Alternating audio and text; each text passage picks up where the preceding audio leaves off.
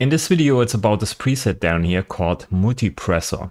And this time it's not a recreation of an existing plugin, even though there are probably a lot of plugins on the market that do exactly the same thing. But I always wanted to use the EQ as a multiband compressor. Uh, because of this, you can circumvent more or less these phase issues with the crossover frequencies where you have these dips, these frequency dips at these positions and also sometimes, yeah, phasing. Um, so here this is called multipressor and we want to use this on the addictive drums plug-in here with some drums. This is how it sounds. And I also want to show you, of course, the full screen. This is how it looks like. Down here is the preset. Um, so we want to use this on the Addictive Drums uh, plug-in here. And we can change here the threshold. So we can pull down the threshold so we act on more um, on the audio signal more. And we also can introduce here the ratio to compress the signal.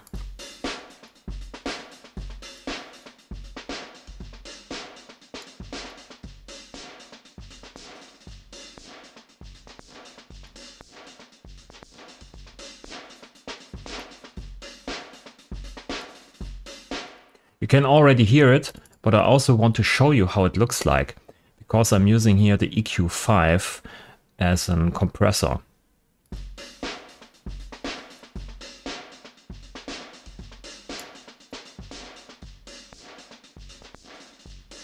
So this is obviously too much.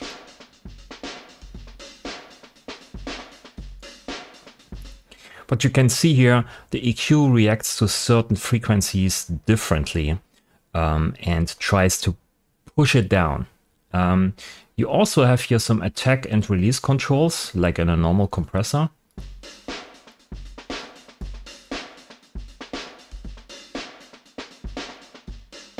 You can see it, it reacts much, much slower now.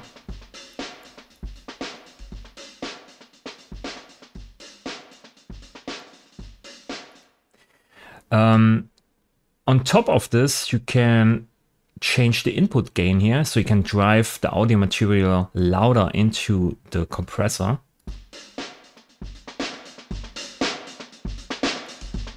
Which is more or less the same thing than just pulling down here the threshold. Um, so making the audio material louder or pulling the threshold down is more or less the same thing, even though it changes the output gain a bit, right? So, but it's more or less the same thing. Then we have here a knob called up equals faster, which means um, you can alter the reaction time for rise and fall uh, for the top um, yeah, frequency bands differently. But I scaled it a bit. So when you turn this up, this is much faster. This is a little bit less fast, you know, less fast, less fast, and this doesn't change at all. So um, I did this because sometimes you want to have slow compression or glue compression in the low end and you want to react to hi-hats, which are most of the time 16 notes uh, much faster, right? So I did this um, specifically for this purpose.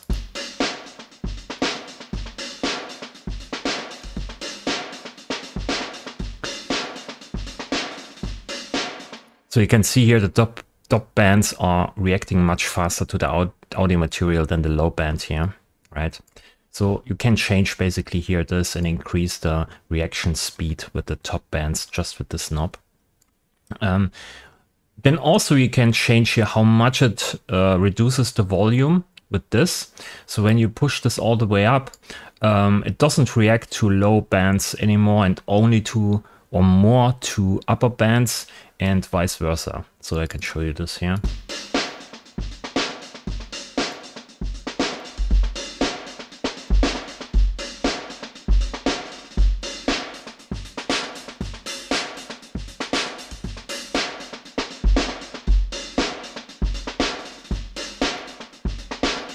So you can skew the result or the gain reduction to different bands with this uh, up down here. So it's a, a tilt knob more or less. then we have here a makeup clip gain, which means you pull down here this um, gain knob on the over clipper, which makes everything just louder.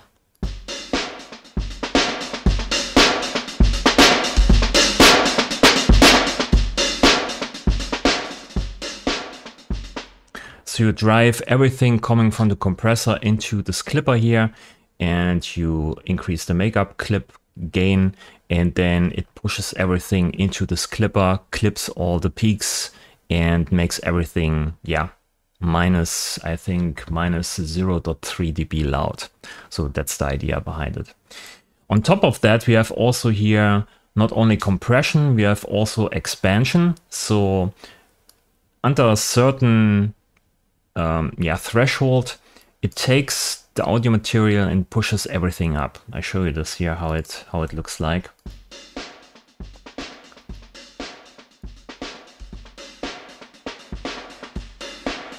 Right, you can see here volume going up.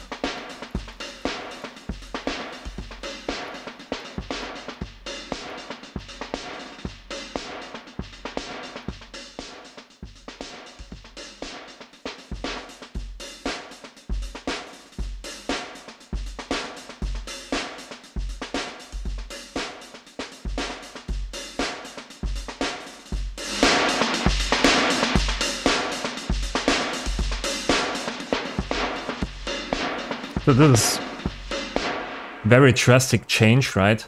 Uh, but you can do it if you want to. So there's expansion and compression um, based on the EQ5. And on top of that, if you want to dial down the effect, you can use this global scale amount here. So this knob on the EQ5 says um, scales the gain setting of all bands moderating the effect which means um, it just brings down the effect of each of these um, gain settings here.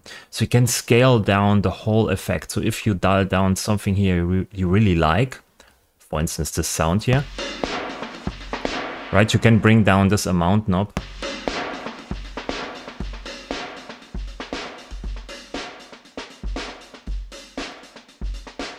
And it sounds less tr tr traumatic in a way. So you can you can scale the whole limiter in a way. Um, I also created this preset uh, with the EQ Plus first. So if you don't want to use the EQ5, you can just disable EQ5 here and enable EQ Plus. And it works in the same way. So you can switch between the two if you like maybe the EQ Plus more or maybe you like the EQ5 more it depends on you, right? And yeah, so compression, expansion with five bands on an EQ5, um, you can scale different uh, frequencies, um, upper frequencies or lower frequencies more if you want to. You can change the reaction speed here for the upper frequencies. You have gain stuff. You can also switch here the follower to peak if you want to do this. So it sounds a bit different, but not too, it's not too drastic of an effect.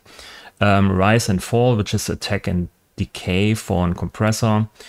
Ratio for the expansion, ratio for the um, for the compression here. Threshold, this is all the way up.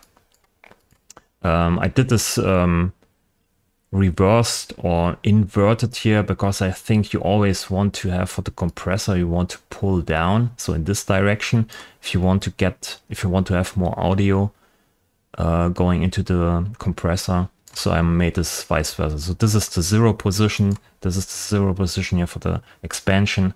So it's um, the opposite.